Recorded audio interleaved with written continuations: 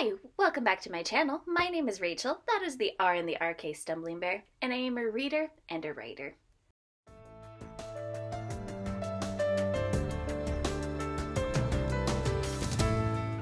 And welcome back to my November wrap up.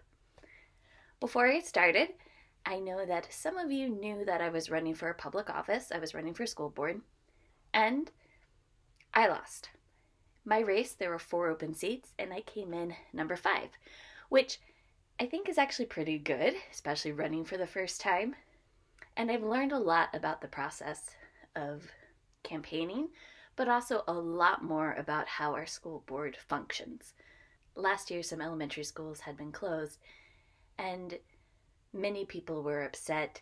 So, diving into this campaign and getting further knowledge about what the purpose of the school board is, what their purview is, really helps me understand how and why they make certain decisions. So while some people vilified the school board members, I'm not one of them because they're pretty cool people and they really do care about the health and safety of the students in our district. So it was a wonderful experience. And we'll see in two years if I decide to run again. I don't know. I have other things that I'm hoping to do in the meantime. So, with every campaign, if you haven't known a candidate, there is some depression and some grief just because you're not going to run if you don't want to win. However, I am not super competitive, so I think it's been easier on me than other people, but I still have to go through my own grieving process and feelings. So I think it's good that I have some other things that to keep me busy, like SpecFest or the or the self-published science fiction contest year 3 that is going on right now. So I'm going to do this a little bit backwards. I'm going to first do my writing wrap up.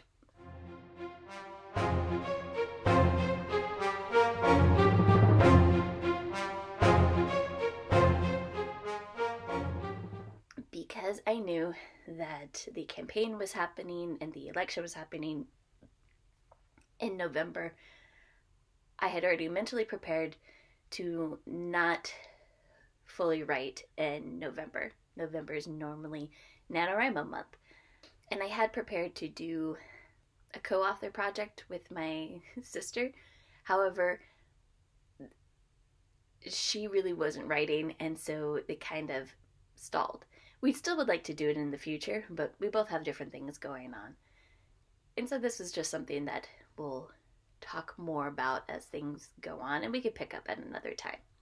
I also picked up another project that I had started a few NaNoWriMos ago. Um, I call it a second chance romance, and started putting more words into that. And so, nowhere near 50,000. I think maybe in the total of November, I wrote 2,000 words total, but that is 2,000 words that I did not have before.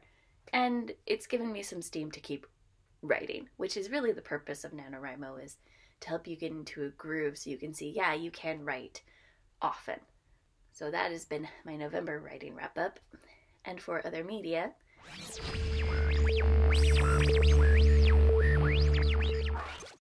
we are watching Hell's Kitchen. We're watching The Great British Baking Show. Um, I've been watching Young Sheldon. Hilarious. I love it. so easy to binge, especially since it's only 20 minutes long each episode. And I don't know if I said before, but I did finish my elementary rewatch. Got all the way through this last season that I hadn't. And I, would I it kind of feels anticlimactic. You could tell that the writers wanted to leave the characters in what they considered a good place by giving them all their dreams, or mm, by making all their dreams come true. So everything that they've been hoping for, like Watson was wanting to adopt, well, she's now adopted and she's been a mom for a while. It was okay. It was an okay ending if you need your endings to wrap up neatly and nicely with a bow on top, yeah, how this ends is great, but I don't know. For mystery TV show, it didn't necessarily need that nice, neat wrap up. So, on to my reading wrap up.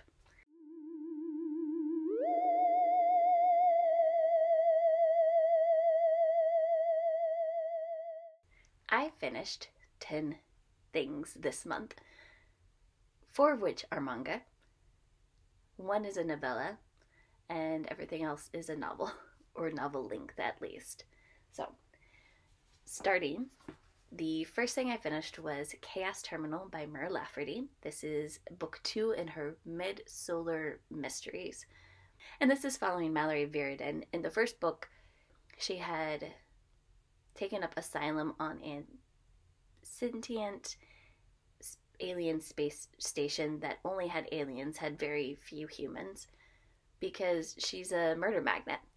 Everywhere she is, murders happen, or she gets drawn into murders, and she was sick and tired of it. She felt like it was ruining her life.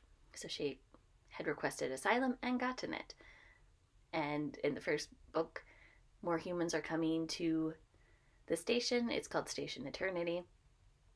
And she's freaking out because so she's like somebody's gonna die. That's that's what always happens. So this is book two, following the events of the first book, and she has a new murder mystery to solve, and some other people from her past have shown up, and uh, I mean, overall it was a lot of fun. I think my favorite characters are still the Gneiss. They are rock-like creatures, and are a lot of fun. I mean, this is book two. I'm not trying to think of what I could say that would not spoiler the first book. And the murder mystery revolves around the people from her past. One is a detective that used to frequently accuse her of the murders that she was like attracted to and one of the people she was trying to escape and then the other two from her past are her best friend from high school and her crush who happens to be her best friend's twin brother and she finds when she sees them that she did not remember her crush at all. Like she had forgotten him completely. Like that he even existed and that her best friend had a twin. And so she's kind of freaked out. And then the murder mystery happens. So I'm not going to spoil anything more. It was a fun ride. I'm really enjoying like the environment of this. Murder mysteries aren't really my thing, but because it's packaged with the sci-fi, then I am more interested in it. And I think I rated this the same as the first book. I then reread The Kaiju Preservation Society, and I did pr- recently purchase my own copy, but I've loaned it to a friend to read because I think that she would like it. And if you don't know what the Kaiju Preservation Society is about, it follows Jamie Gray, who at the beginning of the pandemic is fired from their job and the only job they can get is as a food delivery person, which isn't great in time of pandemic. And Jamie runs into a guy that they once knew who remembers that he was really into sci fi and offers them a job. And Jamie takes it because why not? It seems like it's going to be more interesting. And finds out about this whole other world where kaiju exist. And I'm trying to be kind of vague on Jamie's pronouns because it's never stated in the book whether Jamie is male, female, non binary. Like, no pronouns are given to Jamie ever. You don't overhear a conversation where somebody pronouns them. So, Jamie really is up to the reader of what you would like to do. And there is representation of the other genders in the book. And I just like the idea of humans trying to preserve kaiju not only in the kaiju world but also from other humans. It's kind of fun. I then finally finished The Jasmine Throne by Tasha Suri. This is the first in an Indian inspired story, we primarily follow two perspectives. One is Priya, who is a temple child in hiding because all the other temple children burned to death. and that burning was done on purpose. Priya was one of the few that escaped. And then we follow Malini, who is a disgraced princess from the Empire. And Malini has been sent to the temple where the children have burned as basically for it to be her prison. And then Priya ends up becoming her maiden, yeah, her maiden waiting, lady in waiting. Eh, I'm not certain. And then Priya ends up becoming her maid to kind of help her and finds out, you know, Malini's being dosed with a substance that is slowly killing her. And this is definitely a political fantasy. And I found the world very intriguing and interesting, and the magic systems, they're not in your face. This this isn't a hard magic system where the reader knows the rules. This is more of a soft magic system. It's more based off of oh, the character has an idea, and so then they try things out with their magic to see what happens. And not everyone has magic, so there's that as well. It's the first in at least a trilogy, if not a, a series. I'm not sure how many books are going to be there.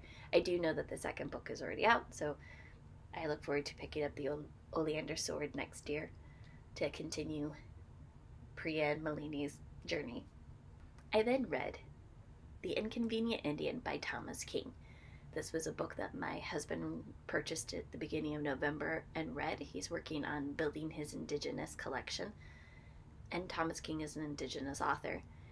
He's Cherokee, has lived in the States and in Canada. So, this is a nonfiction book. Um, the subtitle of this is A Curious Account of Native People in North America.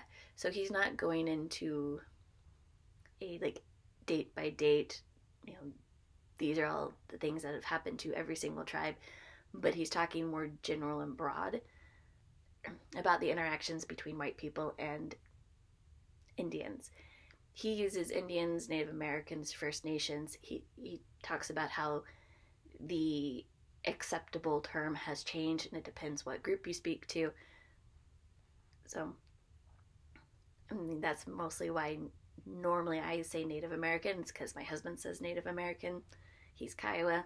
I just follow his lead on that one. I was going to say I really enjoyed this book, but it's not so much enjoyable because it, it keeps pointing out that the abuses and tragedies of the past are still happening. The United States and the Canadian government are still finding ways to erase natives. I believe it was as late as the 80s that the Canadian government unrecognized several tribes in Canada.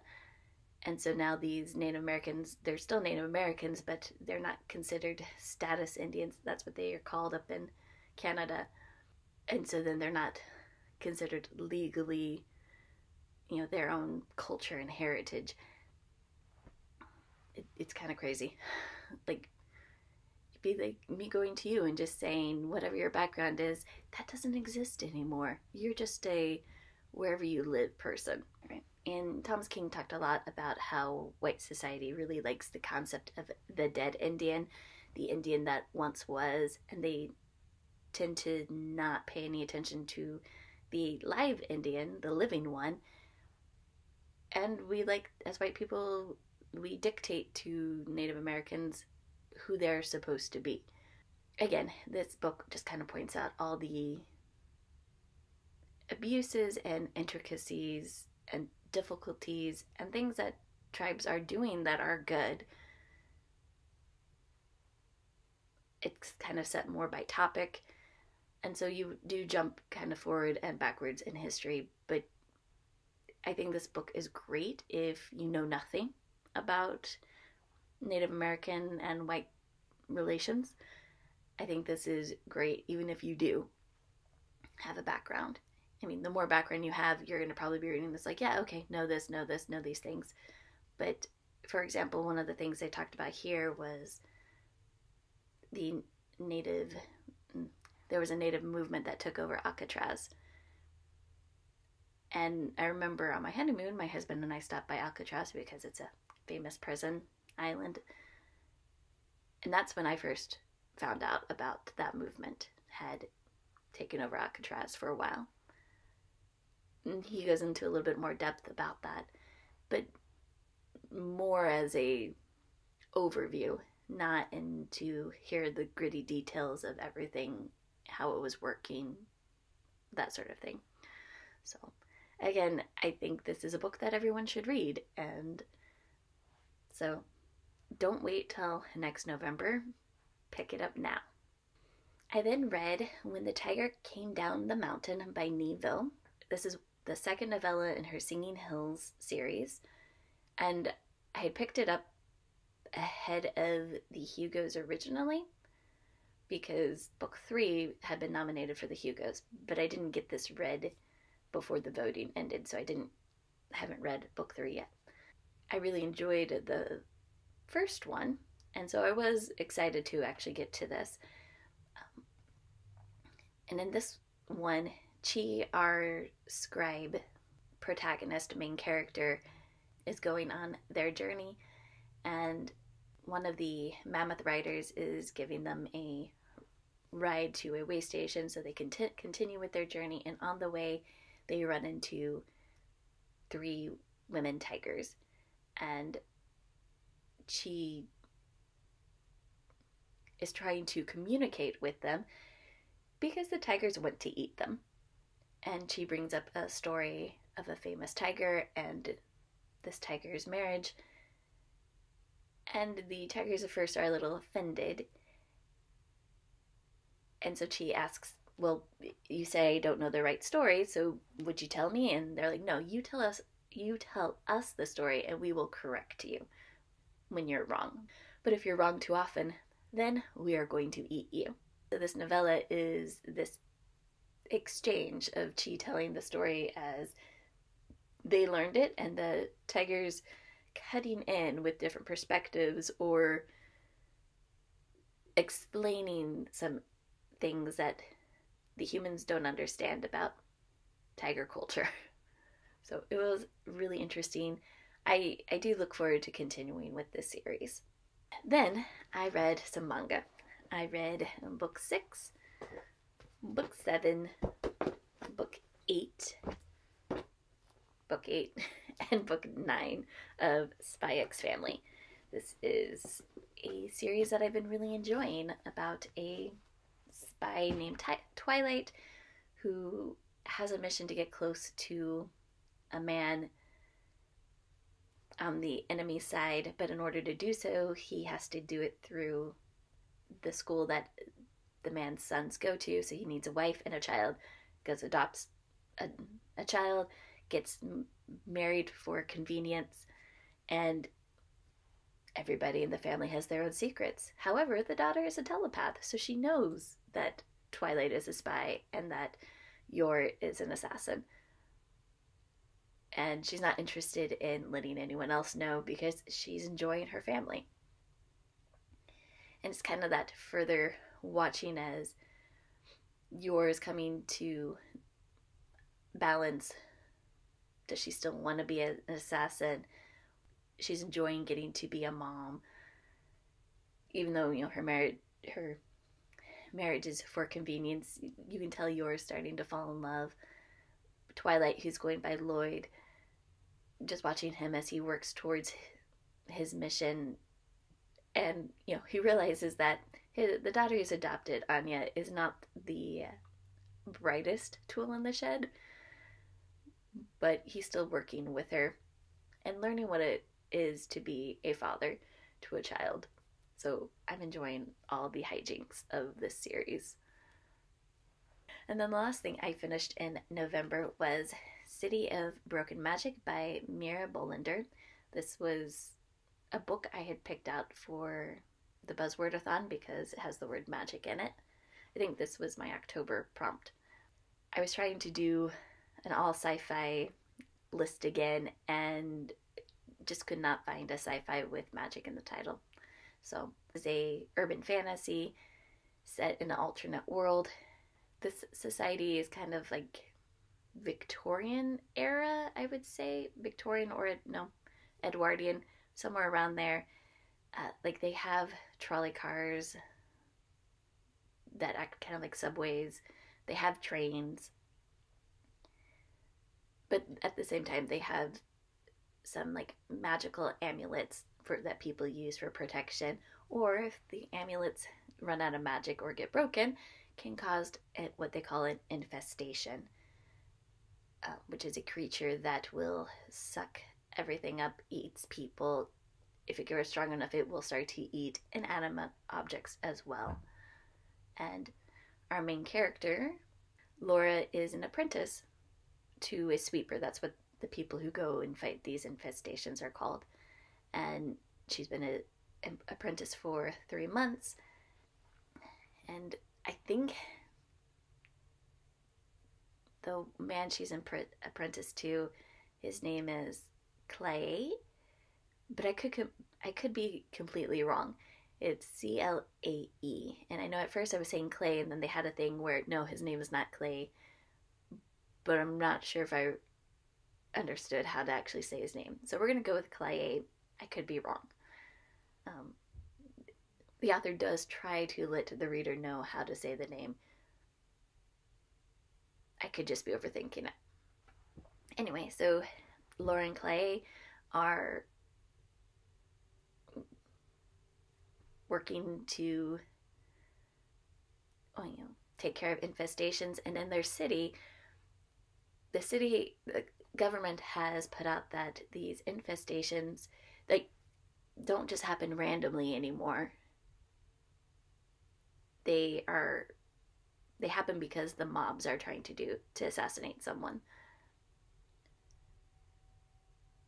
That their city is special and they they don't have the same issue as the rest of the island country where in other cities infestations will just happen. Because of this the sweeper unit in the city is a lot smaller. It's just the two of them at the start whereas other cities have a bigger group. And sweepers in other cities are have better acclaim or are acknowledged by the people and here they're kind of treated as riffraff and no i enjoyed this actually a lot it was a very interesting urban fantasy. It was very interesting, like how the magic works with the amulets. And there's a second magic magic system that's been mentioned, which I think we'll find out more in further books. But even just the relationships between the characters, very much enjoyed this one. I do think that the synopsis on the back definitely gives away a spoiler for one of the characters and so I was waiting a long time for what's said on the back to happen, and it doesn't happen until the very end. So I would say don't read the synopsis for this book before picking up, because otherwise it will spoil you for the book. You should just go pick it up if you like fantasy, especially if you like urban fantasy. So in my last video, I did talk about that I was planning to read Goodbye to the Sun as a buddy read me and my buddy reader got 10 chapters in and it, this wasn't working for either of us. So we both DNF'd it. I don't normally mention my DNFs, just I had happened to mention that I knew I was going to read it and it didn't work out.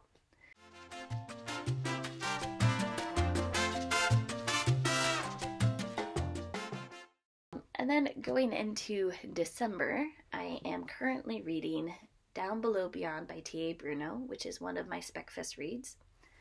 And I've just barely started Children of Time by Adrian Tchaikovsky, which I had originally wanted to pick this up because this series was nominated and I think it won Best Series in the Hugos as well. But I haven't read it yet. I know it's going to be chunky, so it's going to take me a little bit longer. But that is what I am currently reading. How was your November? Any good reads that you would like to share with me? And if you're someone from BookTube who makes videos, please leave me a link to your favorite books of 2023. I really enjoy watching those and seeing the variety. Even if you're not a sci fi fantasy reader, I would still love to know. Thank you and have a great day.